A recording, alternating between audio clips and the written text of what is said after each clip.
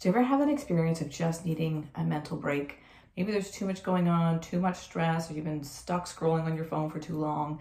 I'm going to invite you today to join me in a eye movement technique that can access a different part of the brain and provide a feeling of clarity and regulation. So it's called the floor to ceiling eye roll. Really simple, takes less than a minute, um, and you can do it at any time. So it's actually part of Gary Craig's original version of emotional freedom technique.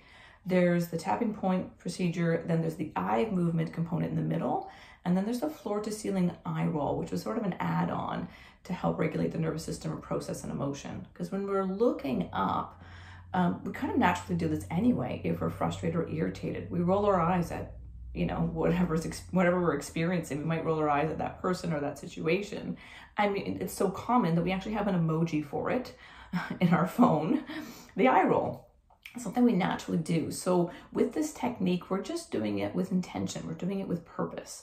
We're inviting the brain into that place. It provides a sense of clarity and it primes the brain to focus. So uh, I'll invite you to join me when you feel ready. Um, if you feel safe and comfortable doing so, we'll close our eyes. And then when you're ready, open your eyes, look just past your knees. And then slowly begin to move the eyes so that now you're looking at the crease between the wall in front of you and the floor. And then slowly bring your eyes up the wall like an elevator. Bring them up, up, up, until you find that you're looking at the wall in front of you and the crease of the ceiling. Keep your chin parallel to the floor if you can. We're not moving the head, just your eyes look up up, up as high as you can. Pause at the top.